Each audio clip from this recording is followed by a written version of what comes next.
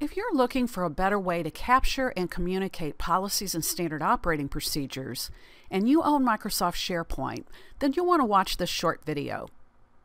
Getting key procedure know-how out of heads and accessible to employees is a must-do for any organization today.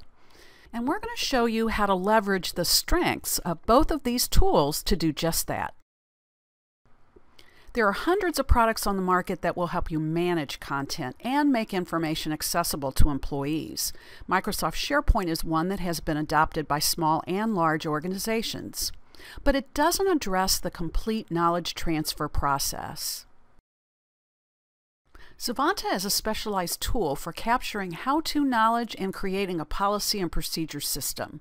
Unlike do-it-yourself tools, it provides a structured, standardized authoring platform that ensures high-quality content that actually drives better performance.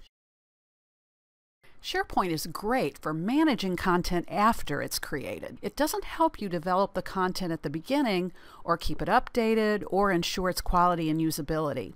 So you have to use Word or some other unstructured tool, and we know what a nightmare that can be.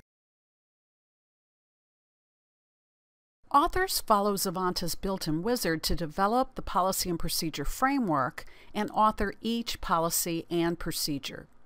All the content is broken up and stored in a database.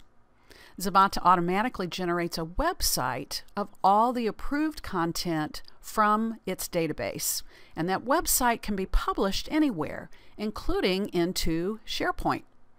Many of our customers use SharePoint as the repository for the website that Zavanta generates. So Zavanta's focus is on the content creation and usability, and SharePoint can be the repository. Zavanta's website export is compatible with all versions of SharePoint.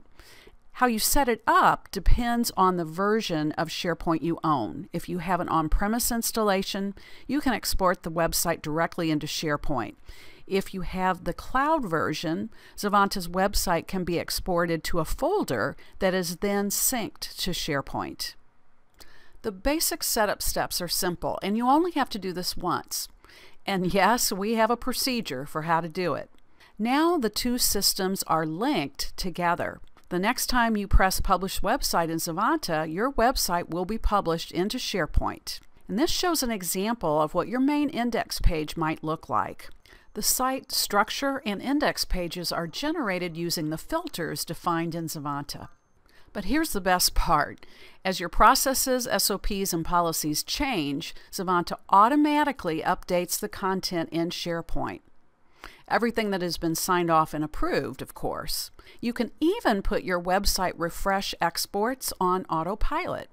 And that's how Zavanta and SharePoint can work together. If you are a Zavanta user and would like to know more, please contact our support team. If you aren't familiar with Zavanta and would like to see how it works, just click on the web page link in the description field below this video. And thanks for watching.